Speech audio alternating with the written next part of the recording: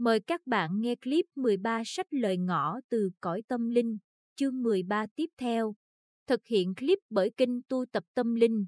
Tôi không tin đó là sự ngẫu nhiên, và tôi viết phần này về công nương Diana chỉ vài ngày sau cái chết của bà. Tôi buồn vô cùng, mặc dù tôi biết bà sẽ ổn thôi, vì linh hồn trong sáng đáng yêu của bà vẫn sống mãi, sẽ được bao phủ bởi ánh sáng và tình yêu thương ở một cõi khác. Tuy vậy, chúng ta vẫn đau buồn khi có người rời bỏ ta về mặt thân thể vật chất. Tôi tin có hai lý do vì sao tôi có cuộc điện thoại từ cung điện Kensington một tuần trước khi công nương mất. Chuyện tình qua nhiều kiếp luân hồi là cuốn sách nói tình yêu và bạn tri kỷ, nói về con người có mối liên kết đặc biệt từ kiếp này qua kiếp khác. Vượt thời gian và không gian, nói về con người đã từng chung sống với nhau trong những kiếp quá khứ, và những người tìm lại được tình yêu của họ trong kiếp hiện tại. Họ học hỏi được rằng tình yêu là tuyệt đối và bất diệt. Tình yêu không bao giờ kết thúc, thậm chí con người có chết đi. Chúng ta luôn được yêu thương. Chúng ta không bao giờ cô đơn. Chúng ta luôn được đoàn tụ với những người thân yêu của mình. Tôi tin rằng công nương Diana cảm nhận được mối liên kết trong tình bạn tri kỷ với Dodi Fayette và có lẽ với những người con trai của bà và với những người thân yêu khác. Có lẽ chuyện tình qua nhiều kiếp luân hồi giúp bà hiểu về những mối liên kết mãnh liệt này. Một lý do khác là có lẽ con người thường có những tiên đoán trước hoặc trực giác mạnh mẽ về những sự kiện quan trọng trong cuộc đời họ. Những trực giác này thường hướng về những cái chết sắp xảy ra, bất kể của họ hay của những người gần gũi với họ. Có nhiều chuyện kể về những người nói chi chỉ vừa trước khi họ chết một cách đột ngột. Một bệnh nhân của tôi là một người vợ trẻ của một doanh nhân. Cô đang mang thai. Con chồng bị chết trong một tai nạn máy bay tại Colombia. Cô có những giấc mơ luôn tái diễn về cái chết vì tai nạn máy bay của chồng mình cả tháng trước khi điều đó xảy ra. Làm sao mà cô được cảnh báo trước nếu điều này đúng là một tai nạn bất ngờ? Một bệnh nhân khác là người phụ nữ Miami. Anh trai cô bị chết trong một tai nạn xe hơi tại Michigan. Nhiều tuần trước khi tai nạn xảy ra, cô đến viếng thăm nhà tang lễ để lấy nhiều thông tin hơn. Có lẽ, cùng một cấp độ, công nương Diana cũng biết về điều đó. Chuyện tình qua nhiều kiếp luân hồi cũng giống như tiền kiếp và luân hồi. Có thật không? Không chỉ nói về tình bạn tri kỷ, những kiếp quá khứ, mà còn nói về tình yêu chân thành, thánh thiện. Điều đó nói lên rằng không có cái chết, chỉ có sự sống, rằng linh hồn chúng ta bất diệt và không bao giờ bị tổn thương, rằng chúng ta sẽ luôn luôn gặp lại người thân yêu bằng linh hồn hay thể xác vật chất. Những cuốn sách của hy vọng, không phải vì đó là nguồn an ủi cho con người, mà chính vì sự thật trong những cuốn sách đó. Có lẽ chuyện tình qua nhiều kiếp luân hồi đã an ủi công nương Diana về cái chết của người cha yêu quý. Hẳn là bà vẫn còn đau buồn vì cái chết của cha mình. Hẳn là niềm an ủi thanh thản của bà liên quan tới cha mình. Công nương đọc sách của tôi chỉ vừa trước khi bà chết. Thời gian không phải là tình cờ.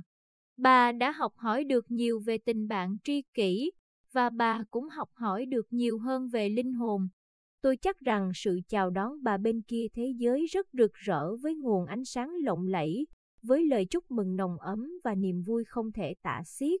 Tôi sẽ nhớ đến bà. Tôi hy vọng cuốn sách của tôi có thể giúp ích cho bà một chút. gian phòng hội nghị nhỏ xíu chật cứng người. 150 con người bám vào từng câu từng chữ của nhà đồng cốt James Van Bra, còn tôi thì đang chứng kiến ông chuyển tải thông tin từ những người thân yêu đã mất Thậm chí những kẻ hoài nghi trong chúng tôi cũng phải kinh ngạc trước chi tiết nhỏ nhặt có đầy đủ chứng cứ do ông cung cấp cho những người khao khát bằng chứng mà người thân của họ đã từng sống. Những người này đều công nhận sự chính xác của ông. Chi tiết càng riêng tư nhiều hơn, tất cả chúng tôi đều ngạc nhiên nhiều hơn, xúc động nhiều hơn. Hai vợ chồng tôi ngồi ở khoảng nửa phía sau thính giả, Tôi không hiểu làm sao mà James có thể biết được từng sự việc nhỏ nhặt này. Câu trả lời thật đơn giản của ông luôn luôn là họ nói với tôi. Ngồi bên trái tôi là người phụ nữ khoảng hơn 30 tuổi. James gọi tên một người đàn ông, thì một người phụ nữ già hơn cô, ngồi phía bên kia run rẩy đứng lên. Đó là mẹ tôi, người trẻ hơn tâm sự với tôi. Nguồn chi tiết có căn cứ, được cho là dựa trên bằng chứng, tuôn trào từ James đến người phụ nữ khoảng tuổi 60. Bà ta luôn miệng dạ. Dạ. Ô, dạ. Hai tay bà siết chặt vào nhau, đôi chân run rẩy. James tiếp tục. Ông ta nói cảm ơn vì bà đã chăm sóc vườn hoa hồng. Ông biết bà làm điều đó vì bà yêu ông, ông cũng yêu bà. Người phụ nữ luống tuổi gật đầu, nước mắt tuôn như mưa. Đừng lo lắng về mấy con chó. James nói có vẻ thần bí pha một chút hài hước. Con gái bà quay sang tôi giải thích. Mẹ tôi chăm sóc vườn hoa hồng cho cha tôi. Dường như bà làm rất cực lực và cứ hay lo mấy con chó chạy lung tung phá khu vườn. Điều này quá sức kinh ngạc. Mắt cô cũng ngấn lệ. Tôi quá xúc động bởi những điều đang diễn ra, đến nỗi tôi phải cố gắng duy trì tính khách quan và thái độ lạnh nhạt. Tức thì sau đó James làm cho mọi người khóc òa. Ông ta cảm ơn bà đã đem cái gì đó cho ông. James ngừng lại một lát. Đó là chiếc nhẫn, ông ta nói với tôi. Đó là chiếc nhẫn của ông, bà có đem theo và giúp ông có cơ hội vượt qua. Khi James vừa dứt lời, người phụ nữ luống tuổi từ từ duỗi cánh tay ra trước mặt và mở bàn tay trái. Đôi bàn tay suốt từ đầu đang chặt lấy nhau. Chiếc nhẫn của chồng bà nằm trong tay, thậm chí cả tôi ngồi chỉ cách bà hai cái ghế cũng chẳng thấy cho đến lúc đó. Cả trang phòng đều hết sức mũi lòng. Một nụ cười rạng rỡ hiện lên khuôn mặt bà. Bà biết người chồng đang ở đó nói chuyện với mình. Cô con gái trả lời cho cái nhìn khó hiểu của tôi. Mẹ tôi chẳng bao giờ đeo chiếc nhẫn đó. Bà đem theo với hy vọng nó sẽ giúp ích. Tôi chắc vậy. Nước mắt cô tuôn dài xuống má. Nhà đồng cốt không phải là những người đọc được tư tưởng. Bất kể cảm nghĩ hay kiến thức mà họ nhận được, không phải từ những suy nghĩ của thính giả. Một họa tiết khác của James Van Bra là điển hình cho điểm này. Làm việc với gần 600 thính giả trong một phòng khiêu vũ của khách sạn Fort Lauderdale, Florida, James lại được chỉ thị những người đặc biệt trong hàng kháng thính giả. Tôi chỉ quan sát ông đang giúp đôi vợ chồng đau khổ bị mất đứa con gái 7 tuổi vừa chết vì bệnh bạch cầu. Con bé gửi lời yêu thương cho hai người và rất vui vì đã hai người đã giữ kỹ đồ chơi, búp bê, con kỳ lân. Mặc dù điều này chẳng có ý nghĩa gì với tôi ngay lúc đó, nhưng đôi vợ chồng đó phản ứng tức thì. Với sự xúc động mạnh, họ giải thích rằng con gái họ đã được hỏa táng. Hũ tro cốt đang ở trong phòng con bé, nằm giữa những món đồ chơi của nó. Tấm trải giường và áo gối là những thứ mà con bé rất ưa thích, có hình con kỳ lân. Trước đây James chưa bao giờ gặp gỡ hoặc nói chuyện với cặp vợ chồng này. Ông ta cũng chẳng nhận ra người đứng kế bên mà ông đang nhắn lời là người phụ nữ trẻ tôi quen.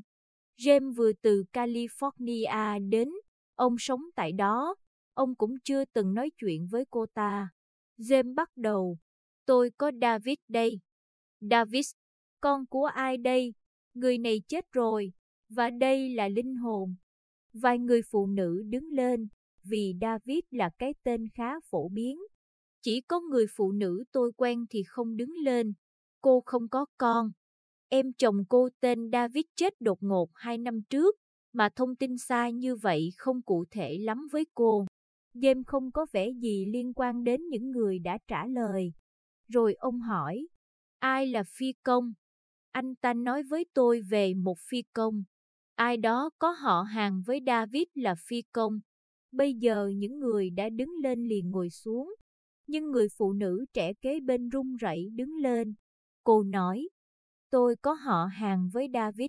Đó là em chồng tôi đã chết cách đây hai năm. Mẹ chồng tôi là phi công. Bà lái máy. James có vẻ đã hài lòng vì đã có sự liên hệ hợp lý. James nói thêm, anh ta muốn tôi gửi lời yêu thương đến bà mẹ. Rồi ông nhìn qua phía khác, như thể ông đang lắng nghe ai đó. Khi ông quay lại người phụ nữ, ông nhìn lên đầu cô và nói, Tôi thấy có một con dao màu đỏ trên đầu cô. Tôi được chỉ cho thấy ai đó. Đang nhìn con dao và nghĩ đến việc rửa sạch con dao. Người phụ nữ không biết gì về con dao màu đỏ hoặc chồng cô có con dao đó không, nên cô không xác nhận thông tin này. Cứ nhớ lấy. Lời James nói có nghĩa là điều này nằm trong tương lai. Rồi ông quay sang người lạ khác, bởi vì mỗi người trong phòng đều là người mới đối với ông. Vài ngày sau tôi nói chuyện với người phụ nữ đó. Cô ta nói với tôi rằng, ông sẽ không thể tin được điều này. Sau khi cô về nhà, cô liền điện thoại cho bà mẹ chồng, mẹ của David. Bà đang sống ở vùng ngoại ô Pennsylvania. Cô không kể cho bà nghe về James hay buổi lên đồng. Cô chỉ hỏi một câu duy nhất. Cái con dao màu đỏ có nghĩa gì với mẹ không vậy? Bà mẹ chồng trả lời. Lạ quá sao con hỏi điều đó. Hôm qua, một ngày trước buổi lên đồng, mẹ xuống tầng hầm dọn dẹp và di chuyển vài dụng cụ câu cá. Mẹ nhìn thấy con dao quân đội Thụy Sĩ cũ của David, mẹ nhặt lên và mẹ nghĩ nên rửa sạch nó. James cảm nhận được tư tưởng của mẹ David. Sự suy nghĩ về con dao xảy ra một ngày trước đó. Người phụ nữ trẻ trong hàng thính giả cũng không biết gì về con dao hay dòng suy nghĩ xảy ra tại tầng hầm trong căn nhà cách xa hàng ngàn cây số. Chi tiết về con dao của quân đội Thụy Sĩ, phi công, con kỳ lân và vân vân quá rõ ràng để loại riêng ra các hạng mục giữa sự trùng hợp ngẫu nhiên và tính tổng quát. Tất cả chúng ta đều có thể học hỏi để thực hiện việc James thực hiện, như khi bạn đọc xuyên suốt cuốn sách này, nhưng chúng ta thiếu tự tin và rèn luyện để nhận ra điều này. Tôi thích dùng sự tương tự như đánh đàn piano khi ta nói về việc học hỏi để sử dụng khả năng siêu linh. Không có người nào sinh ra đã có tài năng để trở thành nghệ sĩ bậc thầy đàn piano. Tuy nhiên, với những bài học, sự tập luyện và làm việc cực lực, tất cả chúng ta đều có thể học hỏi để gõ vài nốt nhạc. Quá trình trực giác cũng sẽ phát triển giống hệt như vậy. Dần dà chúng ta sẽ hiểu rằng tất cả sự sáng suốt nằm bên trong chúng ta, và khi chúng ta nhớ lại, tập luyện và truy cập sự sáng suốt này, chúng ta sẽ chính là thầy giáo giỏi nhất của mình. Lúc đó, chúng ta sẽ tìm thấy niềm thanh thản, hân hoan ngay giây phút hiện tại, bởi vì vấn đề thực sự là chúng ta sẽ sống như thế nào ngay bây giờ, bằng chính tâm linh, điều gì mà chúng ta được chỉ dẫn để tin tưởng không còn quan trọng.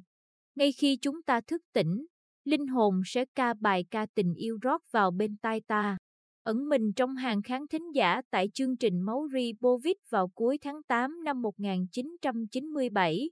Tôi quan sát thầy chữa bệnh nổi tiếng và là bà đồng người Anh, Rosemary Anti đang đưa những chi tiết đặc thù, riêng tư cho một người trong nhóm kiệt xuất vì đau buồn do mất đi người thân yêu. Hai vợ chồng tôi đã đến thành phố New York và có ghé thăm Johnny Evan, đại diện bản quyền của tôi, một ngày trước chương trình.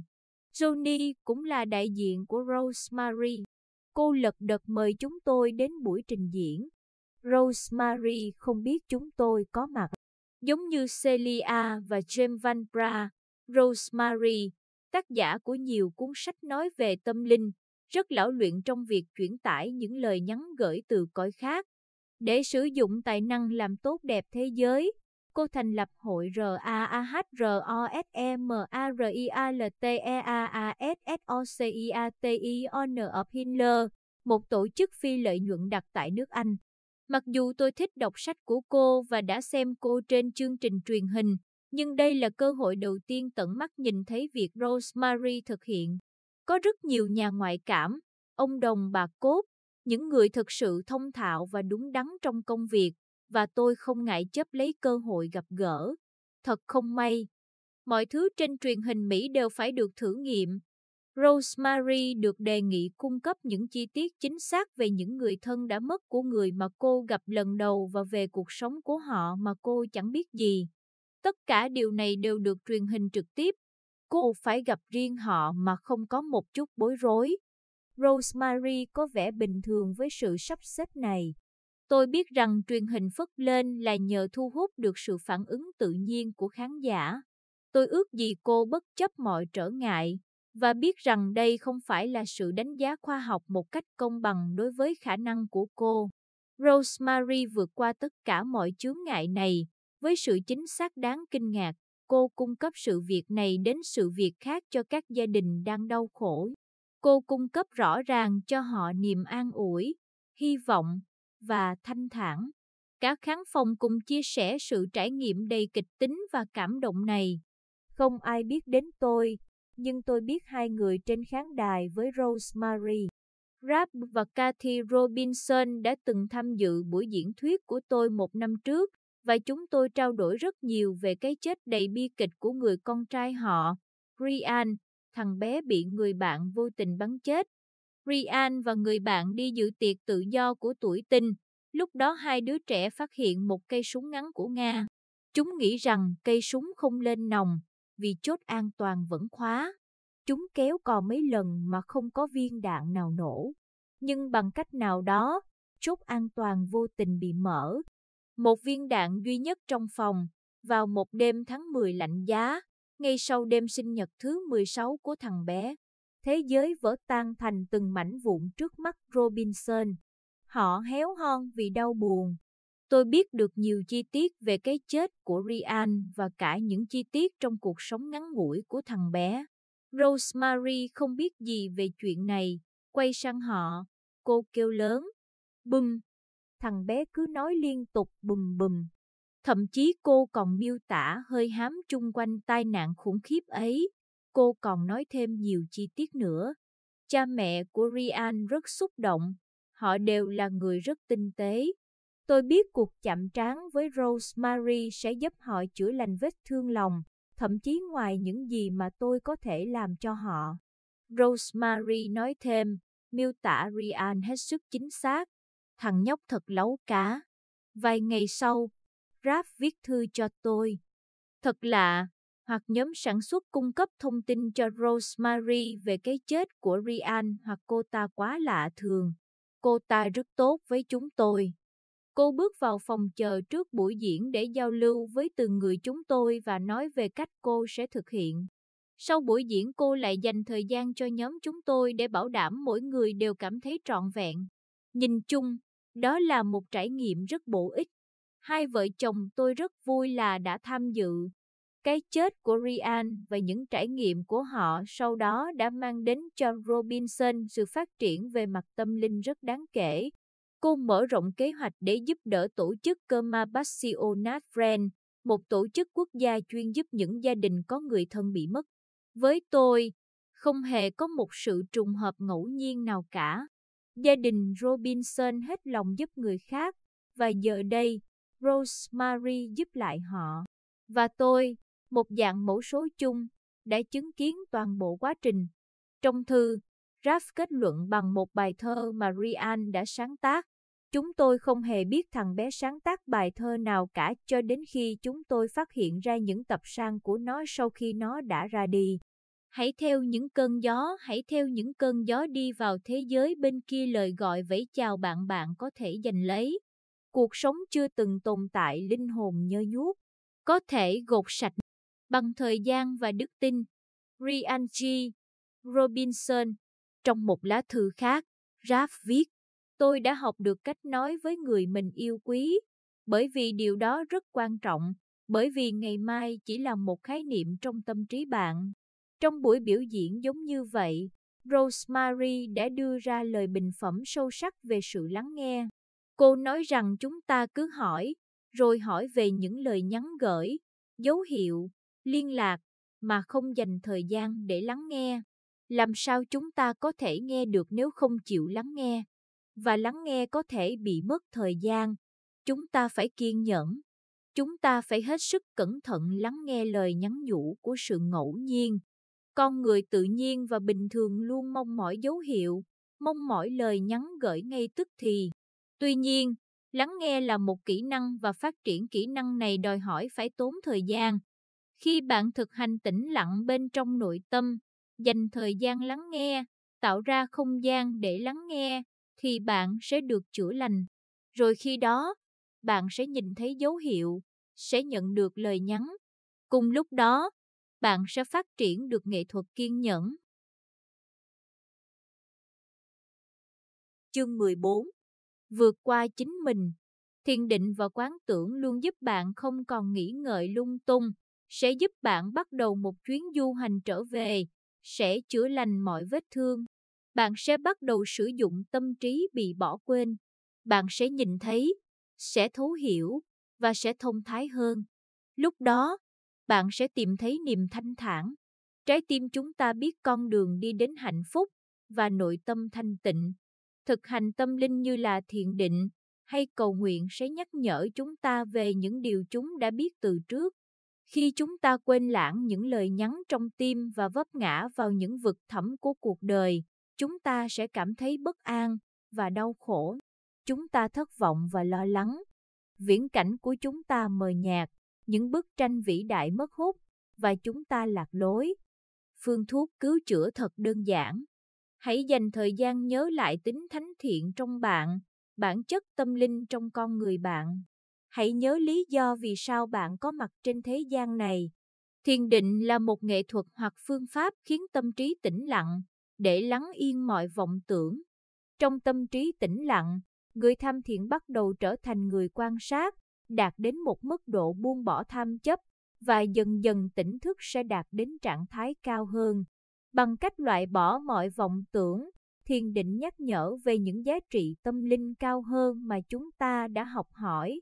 Thiền định đều đặn để nhớ lại đều đặn. Chúng ta được nhắc nhở về bức tranh vĩ đại, về những điều quan trọng và không quan trọng đối với cuộc sống của chúng ta. Cần rèn luyện và thực hành để loại bỏ khỏi tâm trí mọi vọng tưởng. Tôi phải thiền định mỗi ngày trong 3 tháng ròng rã mới có khả năng đạt được tâm thức sâu lắng. Kiên nhẫn rất quan trọng, phải cố gắng tập trung khi bạn thực hành. Thành công trong thiền định không phải là chuyện trong chớp mắt. Bạn không cần phải ngồi tòa sen mới thiền định được. Bạn có thể thiền bất kể lúc đi đứng nằm ngồi. Mục đích là để ngừng vọng tưởng, để quan sát và buông bỏ tham chấp, để có sức niệm và tỉnh thức. Khi bạn tự tập tham thiền, bạn có thể khám phá ra sự hữu ích trong việc cố gắng quán tưởng cũng như thuật thôi miên. Trong cả hai phương pháp này, bạn đang lắng nghe giọng nói của người hướng dẫn. Điều này giúp bạn dễ tập trung hơn. Bất kể thiền định, quán tưởng hay bị thôi miên, bạn không bao giờ bị người nào khác điều khiển. Không có một sức mạnh nào thống trị được tâm trí hay cơ thể bạn. Bạn không phải bước vào cổ máy thời gian. Bạn chỉ đơn thuần tập trung sâu lắng và không hề có bất cứ nguy hiểm gì. Trong trạng thái này, bạn có thể chạm đến cấp độ cao hơn trong tỉnh thức. Bạn có thể đánh thức bản chất thánh thiện trong con người bạn. Đây là bản chất của thiền định. Mỗi bước bạn nhận được rất thiêng liêng, mỗi hơi thở bạn thở rất thánh thiện. Nếu bạn hiểu và thực hành những quy tắc này, bạn sẽ đạt được sức niệm, tỉnh thức của bạn sẽ thay đổi từ thấp đến viễn cảnh khác cao hơn.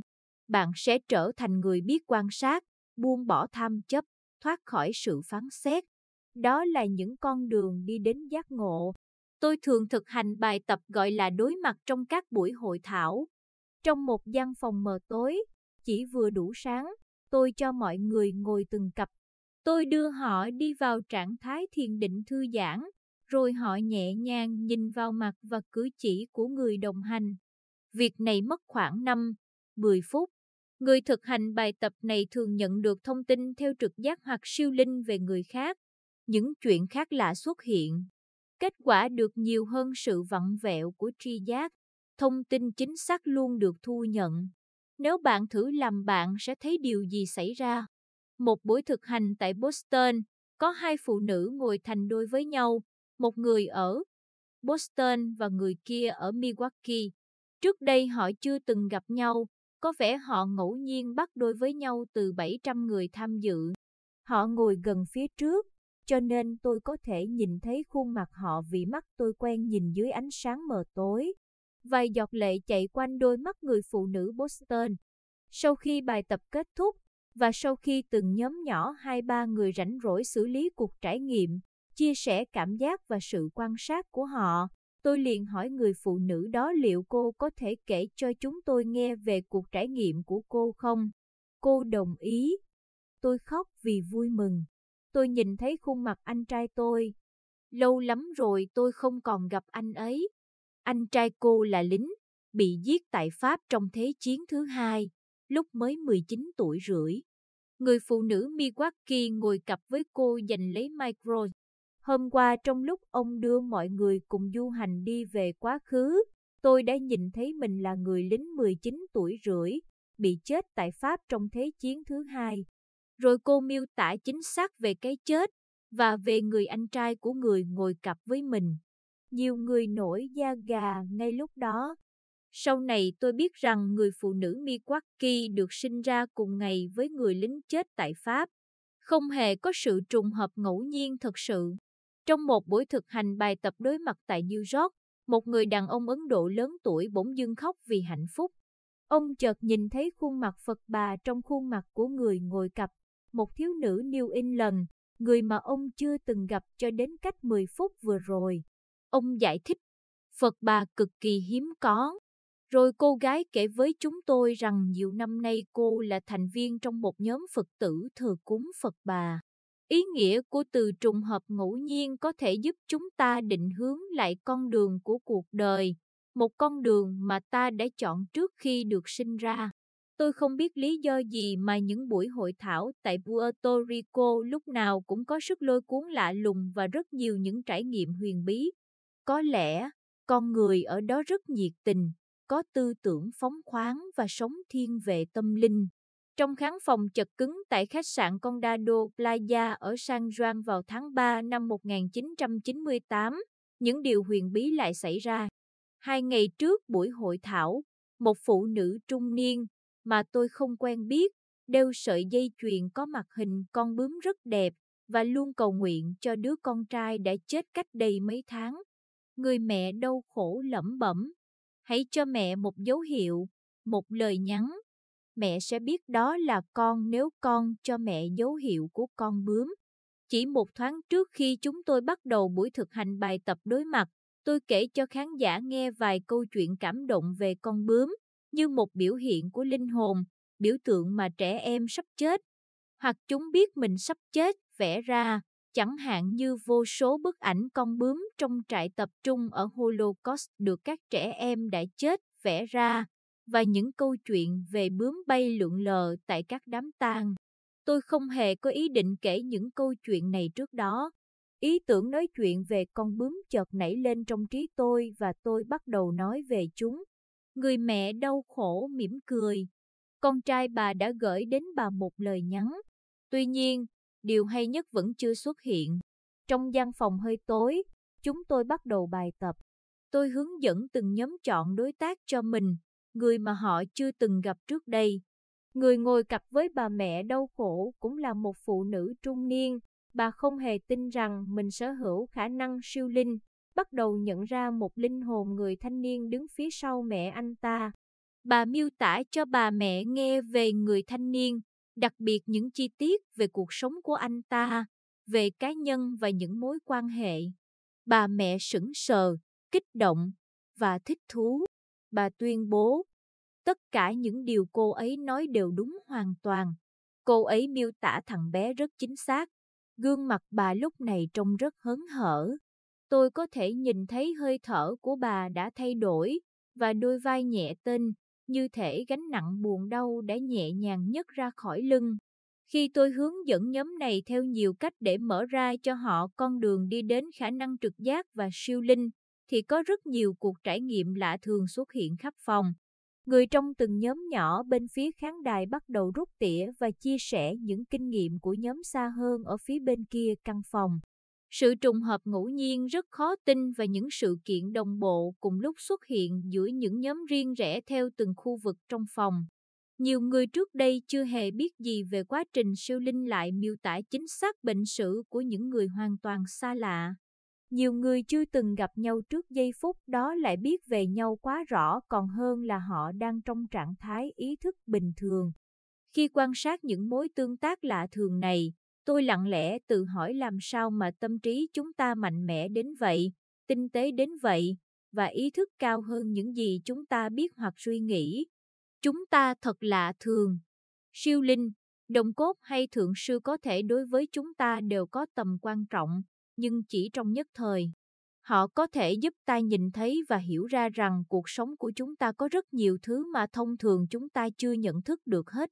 Giống như tôi đã chứng kiến tại Puerto Rico, tất cả chúng ta đều là những nhà tâm linh, nhà đồng cốt hoặc bậc thượng sư. Khi chúng ta học hỏi, chúng ta sẽ mở ra và làm mạnh thêm khả năng trực giác của mình và chúng ta sẽ đạt được trí tuệ cao hơn. Bất kể ấn tượng hay cảm giác bật lên trong ý thức của bạn đều có giá trị. Trong bài tập quét hình này, bạn hãy để trí tưởng tượng tự do bay nhảy. Điều này dành cho cả học hỏi và phát triển. Trước khi cùng làm việc trong nhóm hai người, những người tham dự trở nên có ý thức về lĩnh vực năng lực riêng của họ. Với những đôi mắt khép hờ và trong trạng thái thư giãn, họ nắm lấy tay nhau, đôi lòng bàn tay đối nhau, cánh tay tách rời khoảng vài tấc. Khi cánh tay họ kéo lại, họ thường nhận ra cảm giác nhoi nhói nhẹ trong lòng bàn tay, cảm thấy sức nóng tăng dần hoặc luồng không khí nóng thay đổi, một chút đối kháng tinh tế, giống như người ta cảm thấy có một chướng ngại nhỏ trước khi đôi tay thật sự nắm chặt. Bài tập bắt đầu được lặp đi lặp lại nhiều lần. Người nhận từ từ quét hình thân thể đối tác.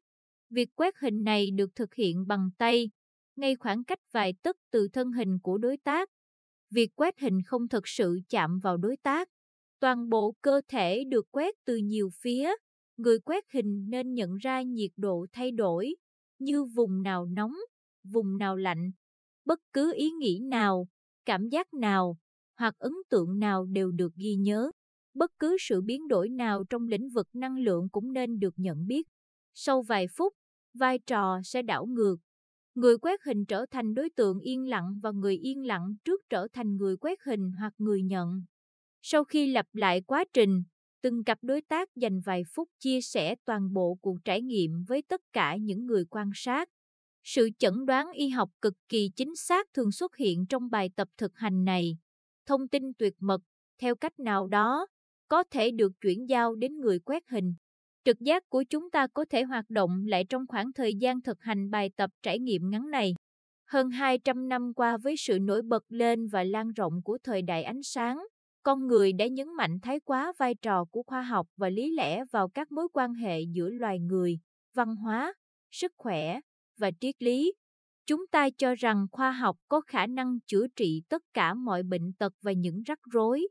Thực ra, chúng ta bị mất thăng bằng bởi những suy nghĩ này. Chúng ta bỏ lơ trí tuệ trực giác, trái tim nhân ái, sự thôi thúc đầy cảm hứng và sáng tạo. Chúng ta có kỹ thuật đáng ca ngợi, nhưng phẩm chất đạo đức của chúng ta và cả sự phát triển về tâm linh không tiến bộ theo cùng nhịp bước. Giờ đây, chúng ta tìm lại chính mình trong vị trí, nơi mà kỹ thuật đủ tiến bộ để phá hủy cả hành tinh này và con người, những ai không đủ khôn ngoan, sáng suốt sẵn sàng đặt ngón tay lên nhấn nút. Kỹ thuật khoa học là vô tính, do chính con người thực hiện, chúng được áp dụng như thế nào, tình huống nào được sử dụng và giá trị nào được xác định. Chúng ta biết rằng khoa học không thể chữa trị mọi bệnh tật của loài người. Chỉ những nhà lãnh đạo có trí tuệ, có lòng nhân ái, biết thương cảm và có trách nhiệm mới có thể hoàn thành mục đích này. Vì vậy, quả lắc phải lắc ngược lại. Không phải mọi con đường đều quay về với sự mê tín và nỗi sợ hãi, mà quay về với trung điểm, một điểm hài hòa và cân bằng. Hãy quay về vị trí, nơi đó, khoa học và trực giác được pha trộn một cách hoàn hảo, nơi đó, trái tim và trí tuệ là một, thực hiện theo cách cân đối để mang lại hạnh phúc và sức khỏe cho con người. Rất quan trọng để biết trực giác làm việc làm thế nào. Ngay trước khi tôi chứng kiến James đưa ra lời nhắn chữa lành cho người phụ nữ đeo chiếc nhẫn của chồng bà ta, tôi có dịp quan sát James tại buổi hội thảo ở New Orleans.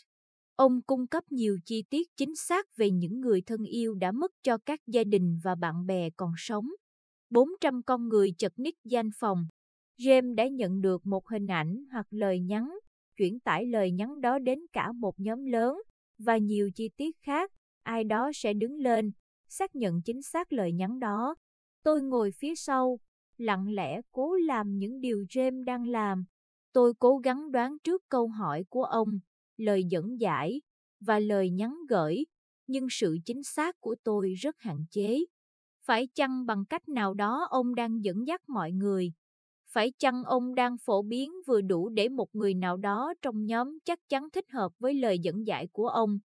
Phải chăng ông quá sức thông thạo đọc được ngôn ngữ cử chỉ? Ông đang nhận thông tin, kiến thức từ nơi khác chứ không phải từ hàng khán giả, và ông đang giúp họ chữa lành những vết đau. Tôi nghĩ rằng có rất ít người tài giỏi trên thế gian này, người mà có thể sử dụng cái dạng này theo một cách nào đó. Tôi không phải là một trong số người đó. Hai tuần sau tôi đang hướng dẫn buổi hội thảo dựa trên kinh nghiệm về tâm linh và liệu pháp chữa trị bằng cách du hành về quá khứ cho một nhóm 700 người tại West Palm Beach, Florida. Để trả lời cho một người trong hàng khán giả, tôi cố gắng giải thích cách mà nhà đồng cốt thực hiện bằng một ví dụ được trình bày rõ ràng chính xác. Nghĩ ra một cảnh tượng, tôi nói, công việc giống như thế này. Ông Đồng có thể nói rằng tôi nhận ra một người thanh niên tên anh ấy chừng 19, 20 tuổi, bị chết trong một tai nạn xe hơi. Anh ấy muốn cho bạn biết rằng anh ấy rất khỏe, rằng anh ấy yêu quý bạn rất nhiều, rằng bạn đừng quá đau buồn vì anh ấy nữa. Anh ấy vẫn luôn ở bên bạn. Anh ấy cũng muốn bạn tặng cái áo khoác da màu đen treo trong buồng anh ấy cho Gary. Tôi đã tạo ra toàn bộ cảnh tượng này. Rồi tôi chuyển qua nói về đề tài khác. Tôi không biết Carol, vợ tôi đang ngồi phía sau căn phòng. Cô ấy nghĩ rằng tôi hy vọng chồng tôi nghe được James Van Bra kể câu chuyện đó, bởi vì nó có ý nghĩa nào đó với một người trong phòng. Sau khi hội thảo kết thúc, tôi đang ngồi ký tặng vài cuốn sách thì có hai phụ nữ, một người có đôi mắt nhòa lệ, tiến đến. Ông lấy đâu ra câu chuyện về Robert và cái chết vì tai nạn xe hơi. Người đang khóc nói. Tôi nói với cô ta rằng tôi đã bịa ra toàn bộ câu chuyện. Cô khẳng định. Không, ông không hề bịa. Anh trai tôi. Robert bị chết trong tai nạn xe hơi khi mới 20 tuổi. Chúng tôi đều rất nhớ anh ấy. Tôi vừa tặng cái áo khoác da màu đen treo trong buồng anh ấy cho Gary, đứa em trai của chúng tôi. Tôi có cảm giác anh ấy muốn tôi làm điều này. Chúng ta đều là những sinh vật tâm linh nằm trong hình thái con người. Phần tâm linh của chúng ta không bao giờ chết đi. Chúng ta không bao giờ thực sự bị mất người thân yêu. Vì vậy mọi người đều có thể thực hiện việc tôi đang thực hiện, bởi vì chúng ta đều gắn kết với nhau. Trong trạng thái thiền định và trong những giấc mơ, tôi vẫn thường trải nghiệm hình ảnh ẩn dụ đầy sống động và trực cảm những suy nghĩ sáng suốt sâu sắc nảy sinh. Tôi thường nhận được những câu trả lời cho những vấn đề rắc rối hoặc trường hợp nan giải, những điều giống như viên ngọc trai nằm trong hình thái con sò, làm dấy lên phần sâu thẳm trong tâm trí tôi. Trong một hình ảnh mãnh liệt như vậy nhưng có vẻ thật đơn giản, tôi nhìn thấy cách thức con người quan sát bản thân họ như những thực thể riêng rẽ, còn trong thực tế, chúng ta đều mãi mãi gắn kết với nhau. Tôi thoáng thấy biển rộng mênh mông, ngập đầy những viên đá lạnh. Mỗi viên đá đều riêng biệt, đông cứng và có ranh giới, nhưng tất cả đều lướt trên cùng mặt nước lạnh ngắt. Ngay sau đó, nước ấm dần lên và những viên đá này tăng chảy. Tất cả đều thành nước. Từng viên đá nối kết lại với nhau tan trong biển rộng. Rồi sức nóng tăng lên, nước bắt đầu đun sôi, chuyển thành hơi nước. Tức thì, tất cả đều thành hơi nước, lặng lẽ và vô hình. Nhưng hơi nước vẫn còn chứa những gì đã từng là nước và đá viên. Sự khác biệt duy nhất giữa tình trạng đá lạnh, nước và hơi nước là năng lực rung động của phân tử. Loài người tự nghĩ mình khác nhau theo quy luật tự nhiên, giống như những viên đá lạnh. Tuy nhiên trong thực tế, chúng ta đều là một thực thể có mối liên hệ với nhau. Có thể bạn đã từng trở về kiếp quá khứ bằng những phương pháp khác hơn là bằng thuật thôi miên. Hai chuyến du hành quay về quá khứ đầu tiên của tôi xảy ra thông qua cách điều trị bằng phương pháp xoa bóp và trong giấc mơ. Chuyến du hành đầu tiên cùng xảy ra trong lúc đang được ấn huyệt. Trong hoạt cảnh rõ ràng sống động này, tôi nhìn thấy chính mình là một thầy tu thời cổ xưa, cao hơn, ốm hơn con người hiện tại của tôi. Tôi đang đứng trong một tòa nhà có dạng hình học lạ lùng, tầng trên cao có các cạnh nghiêng. Trong tâm trí, Tôi cứ nghe liên tục từ Yitgurang nhưng lúc đó tôi không hiểu đó là nghĩa gì. Vị thầy tu này có rất nhiều quyền lực, nhưng thay vì sử dụng vị trí của mình dạy dỗ sự thật về tâm linh, ông ta tập trung vào việc chiếm hữu nhiều quyền lực hơn, giàu có hơn. Khi tôi đâm chiêu nhìn về tương lai của ông, tôi có thể thấy rằng nguyên tắc của ông không bao giờ chuyển sang tâm linh, thậm chí nhiều người tu hành được tự do dạy dỗ sự thật về tâm linh miễn là nhu cầu của những người trong hoàng gia cũng được đáp ứng.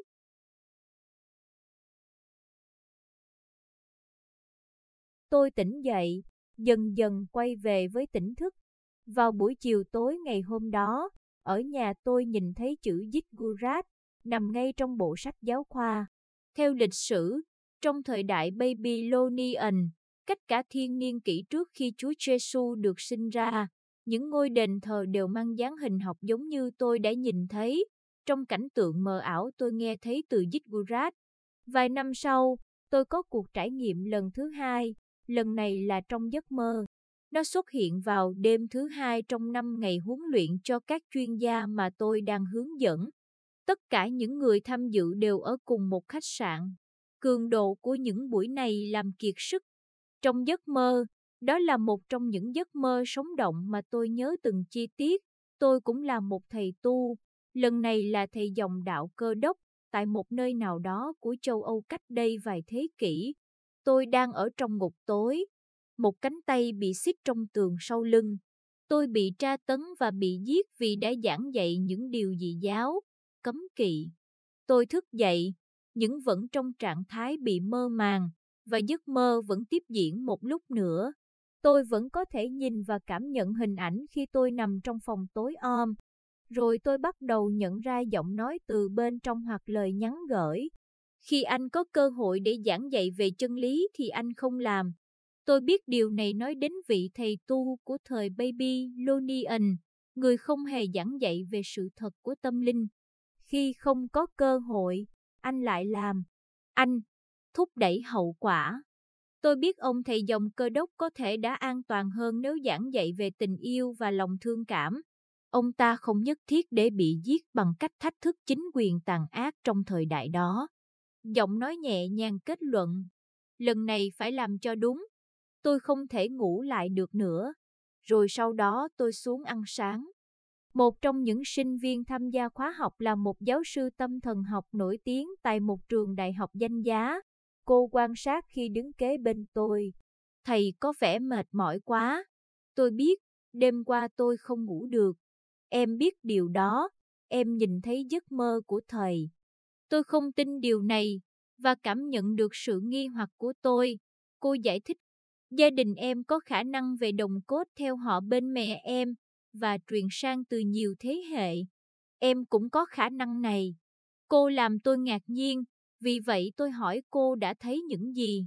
Em nhìn thấy thầy là thầy dòng đạo cơ đốc tại Scotland cách đây nhiều thế kỷ. Thầy ở trong tù, tay phải bị xích trong tường sau lưng thầy. Thầy bị tra tấn và giết chết vì giảng dạy về chuyện đầu. Quả thật, cô còn đặc biệt hơn tôi nhiều. Còn nữa, thầy nên cẩn thận nhiều người đó bây giờ đã quay lại. Cô nói thêm như vậy, cho nên tôi luôn cố cảnh giác.